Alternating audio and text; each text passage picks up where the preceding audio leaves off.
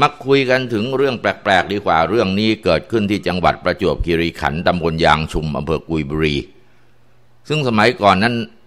ยังเขียวชอุ่มถูกปกคลุมไปด้วยต้นหมากรากไม้ ไม่เป็นภูเขาหัวโลนนะครับ ตามห้วยหนองคลองบึงยังมีผักปลาชุกชุม รวมไปถึงสัตว์ป่านานาชนิดพอกคอก็เยอะ จนทางการต้องเข้าไปกวาดล้างจนราบคาบ แล้วก็เปิดให้ชาวบ้าน เข้าไปจับจองที่ทำมาหากิน ในเสิร์ตนี่เป็นผู้กว้างขวางคนหนึ่งในเวลานั้น ก็เข้าไปจับจองที่ดินทำไร่อ้อยไร่สับปะรด ก็มีน้องชาย น้องชายในเสิร์ตชื่อนายพศเข้าไปเป็นผู้ดูแลควบคุมคนงานในไร่ทั้งหมด ช้างเนี่ยเป็นสัตว์ใหญ่แสนรู้ยิ่งกว่าสัตว์ชนิดไหนในโลกพอถึงฤดูน้ำหลากมันจะพากันอพยพไปอยู่ในป่าลึกชายแดนพม่าที่น้ำท่วมไม่ถึง แต่พอถึงเดือนอ้ายเดือนยี่มันก็จะพากันกลับมายังแถบถิ่นเดิมของมัน ที่มีอาหารอุดมสมบูรณ์ ช้างถ้ากินแต่อาหารจำพวกต้นไม้ใบหญ้าอันเป็นอาหารธรรมชาติของมันก็คงไม่มีปัญหาอะไร แต่นี้พวกมันพากันเข้ามาบุก หากินพืชไร่ของชาวบ้าน อันนี้เป็นชนวนให้เกิดความขัดแย้งระหว่างคนกับสัตว์ขึ้น ขนาดไล่ล่าประหารชีวิตกัน ช้างบุกเข้ามาในไร่ของชาวบ้านธรรมดา ซึ่งมีอาวุธปืนที่มีอนุภาพไม่ร้ายแรง ยิงมันมันได้รับบาดเจ็บมันก็โกรธ ทีนี้มันก็พังพินาศไปทั่วทั้งไร่นะคนก็เลยเป็นฝ่ายพ่ายแพ้บ่อยบ่อยอันที่จริงแล้วป่าบริเวณนั้นเป็นที่อยู่ของช้างมาก่อน แต่มนุษย์นะบุกรุกเข้าไปจับจองทำลายป่าทำลายแหล่งอาหารของมัน เมื่อไม่มีอะไรกินมันก็ต้องบุกเข้ามาในไร่หาพืชผลกิน ชาวไร่บางคนเข้าขัดขวางก็ถูกมันทำร้ายเอาถึงบาดเจ็บล้มตายก็มี หนักเข้าก็ต้องยอมแพ้อ่ายอมแพ้เสร็จแล้วพอพอพอจะอ่าไม่อยู่แล้วก็เอาที่ขายให้ในเสิร์ตไป วันหนึ่งพอในพศน้องชายในเสิร์ตที่มาอยู่ดูแลไร่ให้พี่ชายได้รับข่าวจากพี่น้องว่าช้างป่าฝูงหนึ่ง มาวนเวียนอยู่ลำห้วยใกล้บ้านของเขาก็เกรงว่าพวกมันจะบุกเข้ามากินพืชผลในไร่ ขอให้นายพศไปช่วยขับไล่ฝูงช้างให้หน่อย เพราะว่านายพศน่ะมีปืนทันสมัย ปืนไรเฟิลอานุภาพแรงพอที่จะล้มช้างได้ ช้างเคยเข้ามาบุกทำลายไร่อ้อยไร่สับปะรดของนายพศอยู่หลายครั้ง พอรู้ข่าวอย่างนี้นายพศก็เกิดอารมณ์ฉุนเฉียว เนื่องจากมีความโกรธแค้นฝูงช้างมาก่อน ก็สั่งให้ลูกน้องพายเรือให้ตัวเองนั่ง ตัวเองก็นั่งอยู่หัวเรือ ลูกน้องพายท้ายก็ถือปืนไรเฟิลกระชับมั่นหมายจะสยบฝูงช้างให้ได้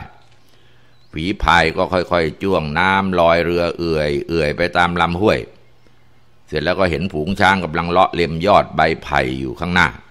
ในพศก็สั่งให้ลูกน้องจ้วงน้ำเบาๆเข้าไปใกล้ๆ ตัวเองประทับปืนเล็งเข้าหากกหูอ่าเป็นเป็นช้างพลายงายาวตัวหนึ่งพอได้ระยะแน่ใจว่าไม่พลาดและมั่นใจว่านัดเดียวเอาอยู่แล้ว ก็เหนียวไกเปรี้ยง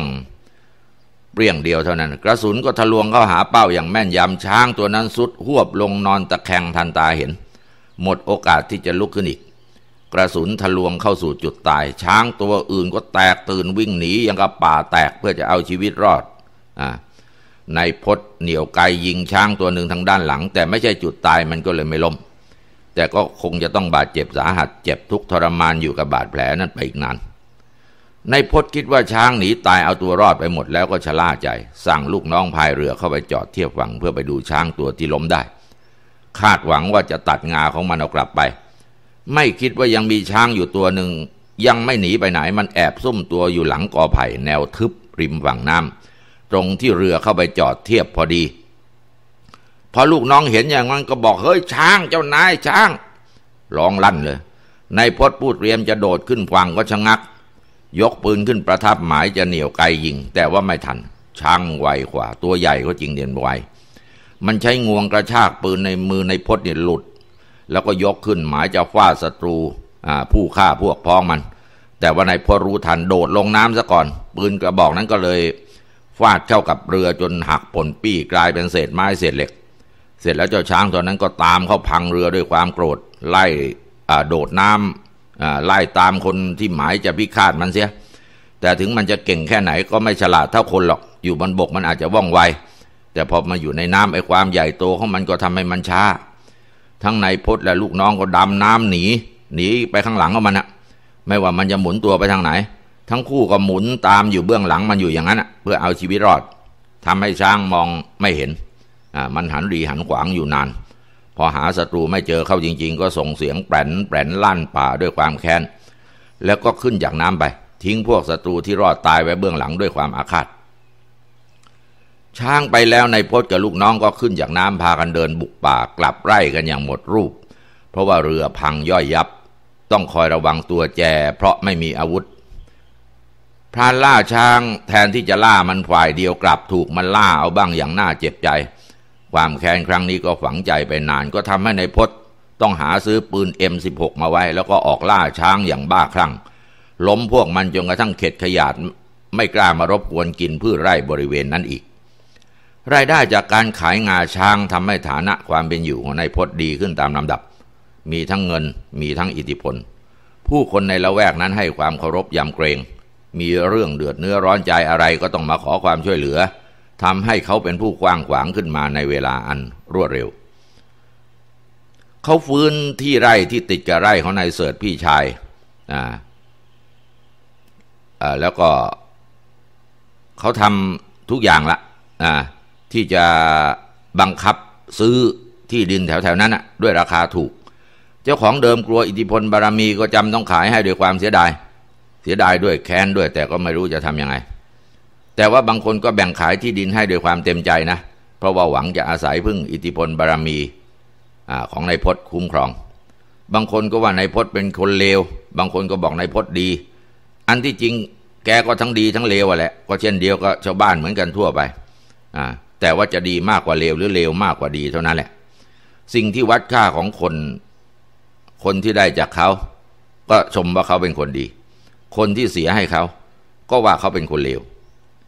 การที่เป็นผู้กว้างขวางทำให้พวกมือปืนที่มีอยู่มากมายเวลานั้น หนีมาพึ่งบารมีกันมาก ไร่ของนายพศกับพี่ชายมีพื้นที่อาณาเขตกว้างมาก สามารถหลบหนีเงื้อมมือกฎหมายได้ดีศัตรูของพวกมือปืนเหล่านี้ ก็เลยไม่ค่อยจะพอใจ ไม่พอใจในพจน์เท่าไหร่จะทำเป็นดีก็ดีกับเขาเพียงหน้าฉากเท่านั้น แต่รับหลังก็คิดจะลอบกัดอยู่เสมอ ไม่ใช่มีเพียงคนเดียวแต่ว่ามากมาย หลายคนที่คิดจะล้มอิทธิพลและบารมีในพจน์ ในพจน์เองก็รู้ว่าได้สร้างศัตรูไว้เยอะ คนที่คิดหมายปองชีวิตของเขา ไม่ทันจะลงมือเพราะว่าสายของเขามีมาก เขาก็สั่งลูกน้องไปจัดการซะก่อนก็ต้องหลายราย การแก้แค้นล้างแค้นสมัยนั้นมีอยู่ตลอดไป ไม่คนนั้นก็คนนี้ แล้วก็ยังมีพวกที่อยากจะวัดรอยเท้าอยู่เยอะ ในพศเลยโดนลอบยิงวันหนึ่งตอนที่เขาเผลอออกไปดูคนงานทำไร่ ปรากฏว่ามือปืนมันซุ่มอยู่ในป่า ลั่นกระสุน M16 เข้าใส่แต่เขาไหวทัน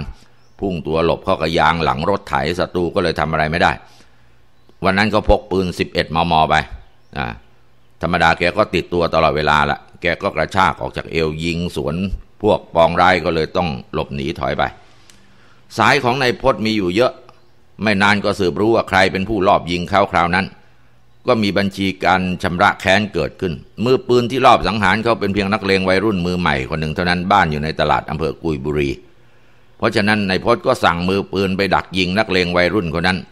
หมอนั่นก็เลยกลายเป็นผีอยู่หน้าโรงหนังกลางผงชนนั่นแหละ ถึงแม้คนตายจะเป็นวัยรุ่นมือใหม่ แต่ว่าก็มีพวกพ้องอยู่ไม่น้อย เป็นมือปืนอยู่ในสังกัดผู้ยิ่งใหญ่คนหนึ่งเมื่อลูกน้องถูกยิงตายอย่างอุกอาจท่ามกลางประชาชนหน้าโรงหนังอย่างนี้ แล้วลูกพี่ผู้ยิ่งใหญ่จะยอมไม่ฝ่ายตรงข้ามหยามน้ำหน้าไม่ได้ ก็สั่งลูกสมุนสืบหาตัวมือปืน จนรู้แน่ชัดว่าเป็นใคร แล้วก็หยิบยื่นความตายให้มือปืนรายนั้น เป็นการล้างแค้นให้ลูกน้องอย่างสาสม นักเลงนี่ยไม่ได้หยุดการล้างแค้นไว้เพียงแค่นั้น สืบรู้ไปจนกระทั่งรู้ว่ามือปืนเป็นคนเขาในพศแต่ว่าจะบุ่มบามทำอะไรในเวลานั้นคงไม่เกิดผลดี เพราะว่าในพศกำลังระวังตัว แล้วก็ต้องคอยสั่งลูกน้องเตรียมตัวรับศึกหนัก เพราะฉะนั้นก็ต้องวางแผนให้รอบคอบด้วยวิธีการล่อเสือออกจากถ้ำเหยื่อล่อเสือที่ว่าก็ไม่พ้นในเสิร์ตพี่ชายในพศที่ไม่ได้รู้เรื่องรู้ราวอะไร เขาถูกมือปืนในรถปิกอัพขับตีคู่รถเก๋งแล้วก็ยิงด้วยปืน M16 อย่างเหี้ยมโหดขณะที่กลับจากไปทำธุระในจังหวัดประจวบคีรีขันธ์แล้วก็ถึงกับความตาย ทีนี้พอพี่ชายตายในพจน์ก็ต้องออกจากไร่ พร้อมกับกลุ่มมือปืนคุ้มกันเพื่อจะมาทำศพนายเสิร์ตพี่ชายที่วัดในตัวตำบลที่ที่ตัวอำเภอ ทีนี้นายพศก็มาเผชิญหน้ากับผู้ยิ่งใหญ่ ซึ่งเป็นศัตรูเนี่ยด้วยรอยยิ้ม เป็นการสวมหน้ากากเข้าหากันในงานศพนั่งกินเหล้าคุยกันเหมือนกับเพื่อนผูงที่รักใคร่จนกระทั่งงานศพผ่านพ้น นายพศกลับเข้าไร่ก็เจอดี รถของนายพศที่มีลูกน้องนั่งกันไปทั้งคันเต็มเลยถูกถล่มไม่มีชิ้นดีด้วยอาวุธสงครามนานาชนิดในระหว่างทาง ยังดีที่นายพศไหวตัวทันเปลี่ยนไปนั่งรถคันอื่น ไม่อย่างนั้นก็คงจะเละไปด้วย เสียมือปืนลูกน้องไปหลายคนนายพศก็ระวังตัวแจ แต่ว่าฝ่ายระวังตัวกับฝ่ายจ้องจะเล่นงานไอ้ความได้เปรียบเสียเปรียบนี่มันต่างกัน เมื่อการทำงานของลูกน้องพลาดเป้า นายพศไม่ออกจากไร่ศัตรูผู้ยิ่งใหญ่ก็ต้องใช้แผนบุกรังเลย เกณฑ์ลูกน้องหลายสิบคนบุกเข้าไร่ยิงถล่มแหลกนายพศระวังตัวอยู่แล้วทุกคืนเขาจะไม่นอนบ้านใหญ่ แต่นอนในกระท่อมเล็กปลายไร่ชายป่า พอได้ยินเสียงปืนรัวเป็นชุดๆเขาก็รีบคว้าปืนคู่เพ่นเข้าป่าพร้อมกับลูกน้องคนสนิททันที เพราะว่ารู้ดีว่าฝ่ายตรงกันข้ามนี่กำลังคนมีเยอะขืนปักหลักสู้มีหวังตายคาที่ลูกเดียว ฝ่ายตรงข้าม ลูกน้องผู้ยิ่งใหญ่ยิงมือปืนลูกน้องในพจน์ที่อยู่ในบ้านตายเรียบ เพราะว่ามีแต่ปืนพก สู้อาวุธปืนสงครามไม่ได้ หลังจากที่เคลียร์พื้นที่ไม่พบศพในพจน์ ก็ถามคนงานหญิงที่อยู่ในเพิงพักชายไร่ ก็รู้ว่าในพจน์นั้นหนีเข้าป่าไปแล้ว ก็รีบออกติดตามจะปล่อยเสือเข้าป่าไม่ได้เป็นอันขาดซุ่มล้อมดักอยู่ในป่าจนกระทั่งเช้า ได้ยินเสียงปืนแว่วๆ ก็เจอในพจน์กับลูกน้องเข้าจนได้ แต่ว่าเจอในสภาพเป็นศพเละทั้งคู่ทั้งในพศทั้งลูกน้อง เพราะว่าถูกช้างรุมกระทืบตาย แบนแต่แต่กรรมสนองกรรมยังไงอย่างนั้นไม่มีผิด เรื่องนี้เกิดขึ้นจังหวัดประจวบคีรีขันธ์ครับ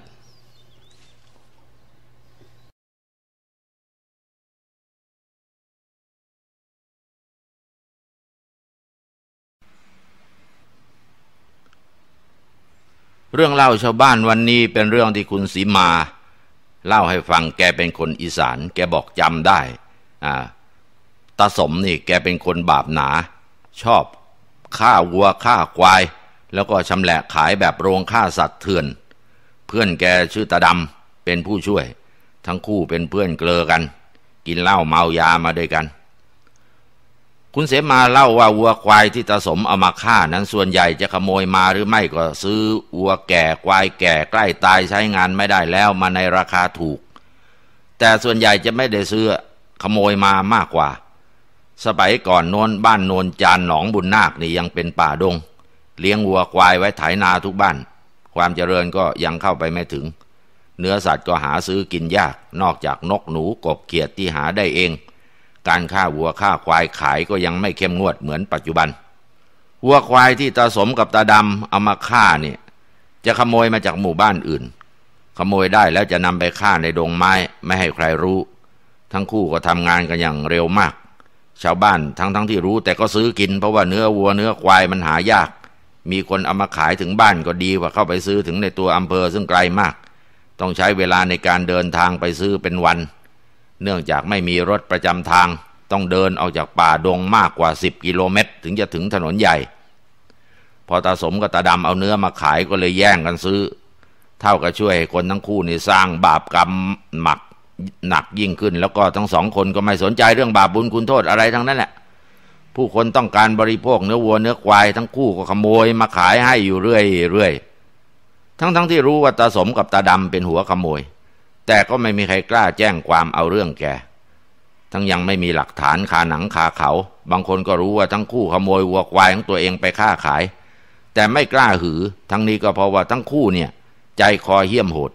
วัวควายยังฆ่าได้นับประษาอะไรกับคนตัวเล็กนิดเดียวทำไมจะจัดการไม่ได้ ผู้ใหญ่บ้านเองยังไม่กล้ายุ่ง แล้วคนอื่นจะไปยุ่งเกี่ยวได้ยังไง ทั้งคู่ก็เลยทำบาปกันได้อย่างสบาย คนฆ่าวัวฆ่าควายมามาก จึงไม่น่าแปลกอะไรที่วัวควายเนี่ยมันรู้ พวกมันกลัวกันมาก พอเดินเข้าไปใกล้มันได้กลิ่นมันก็หนีแล้ว มันไม่ยอมไม่เข้าใกล้มันกลัวจะถูกฆ่าเขาว่าตัวของคนทั้งคู่เนี่ยมีกลิ่น กลิ่นตัวเป็นกลิ่นเลือดของสัตว์ที่แกฆ่าชำแหละนั่นแหละนะเป็นกลิ่นบาปที่ติดตัวอยู่วัวควายได้กลิ่นก็พากันหนีลนลานทีเดียว แต่แล้วคนบาปหนาทั้งคู่คือตาสมกับตาดำก็ต้องมาพบกับสิ่งที่ตัวเองไม่เคยคาดคิดมาก่อน ทั้งคู่ไปเห็นควายตัวหนึ่งกำลังเล็มหญ้าอยู่ริมดงบ้านหนองแวง เมื่อไม่มีผู้คนอยู่บริเวณนั้นอ่ามองดูแล้วดูซ้ายดูขวาไม่มีใคร ก็เลยคิดจะเข้าไปต้อนมันนำตัวไปฆ่าชำแหละขาย โดยไม่รู้ว่ามันเป็นควายโทน ควายโทนคือควายลูกผสมระหว่างควายบ้านกับควายป่า ถึงจะเป็นควายตัวเมียแต่มันก็ดุร้ายสำหรับคนแปลกหน้า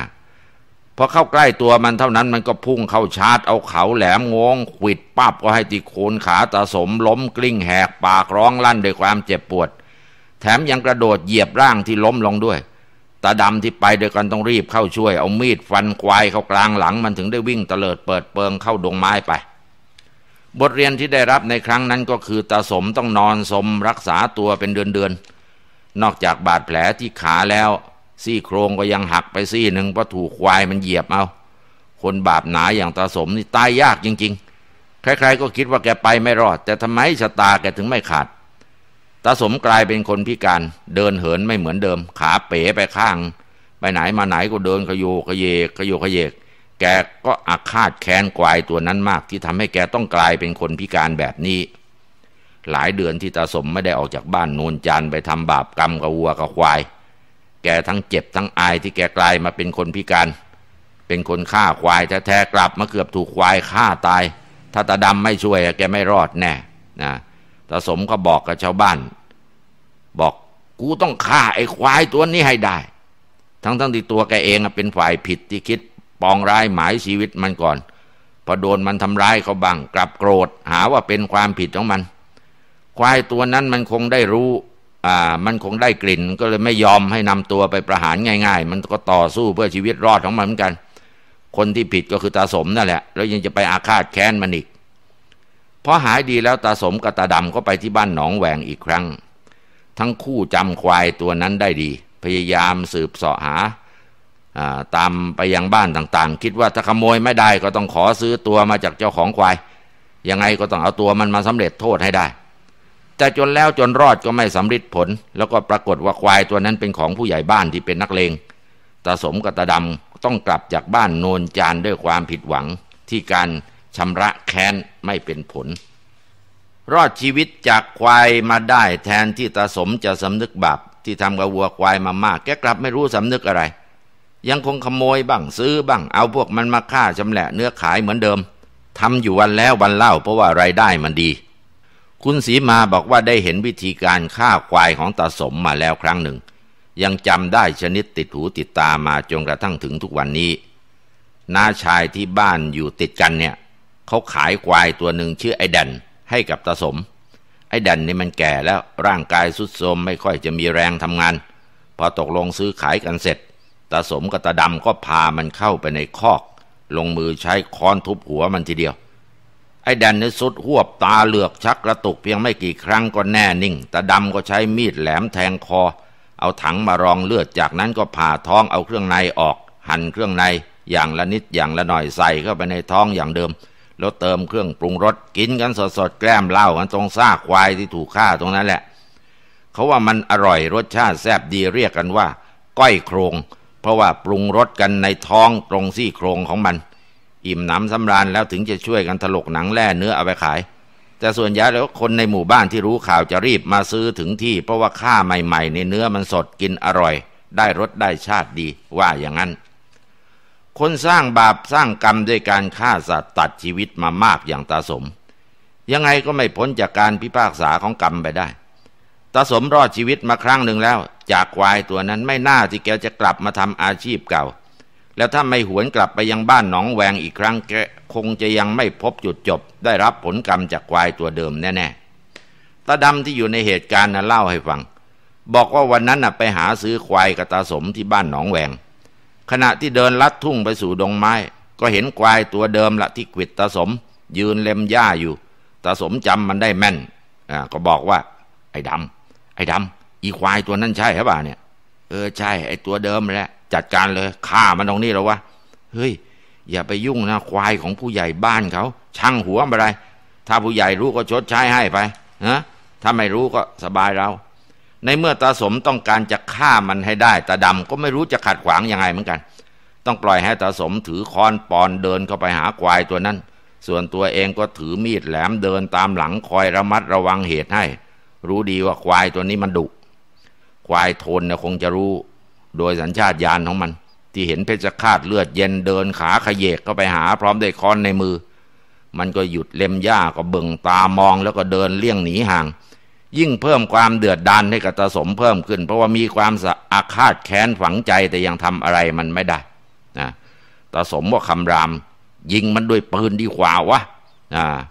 ทิ้งคอนคว้าปืนลูกซองที่เน็บ เอวอยู่ขึ้นมา เฮ้ยยาไอ้สม เดี๋ยวเสียงปืนก็ทำให้ผู้ใหญ่บ้านได้ยินแล้วก็แห่กันมาเดี๋ยวยุ่งนะช่างมันไปเลยอย่างมากก็ชดใช้ค่าควายไป ยังไงกูก็ไม่เอาไว้หรอกตาสมผู้พกพาความอาฆาตพยาบาทมาด้วย ไม่ยอมฟังคำทัดทานของตาดำยกปืนลูกสองเล็งไปที่หัวควายเคราะห์ร้ายมันน่ะตั้งหลักเตรียมชาต่อสู้เต็มที่ มันก็รู้ตัวว่าตัวเองกำลังจะถูกทำร้ายแล้ว เสียงเปรี้ยงปืนลูกซองดังก้องไปทั่วดงไม้ท้องทุ่งเนี่ย วายโทนก็พุ่งทยานเข้าหาตาสมเช่นเดียวกัน ลูกปืนเบอร์สิบสองที่ยังไม่ทันกระจายเจาะกระโหลกมันทั้งเก้าเม็ดอย่างแม่นยำแต่แรงชาร์จของมันก็พุ่งเข้าถึงตัวตาสม หัวอันใหญ่โตของมันชนกระแทกเปรี้ยงเข้ากลางอกจนล้มกลิ้ง แล้วร่างของมันก็สุดควบลงทับร่างตาสม มือฆ่า แน่นิ่งไม่ไหวติงวัตดำจะได้สติเข้าไปช่วยเหลือตาสมออกจากซากควายตัวนั้นตาสมก็สิ้นใจหมดลมหายใจซะแล้ว ราะว่าโดนควายทับเลือดออกทั้งปากจมูกกระดูกซี่โครงหักไม่มีชิ้นดี นี่คือผลกรรมของนักฆ่าควายที่ต้องมาตายพร้อมกันกับมัน นี่เป็นเรื่องที่คุณสีมานะครับ เล่าให้ฟัง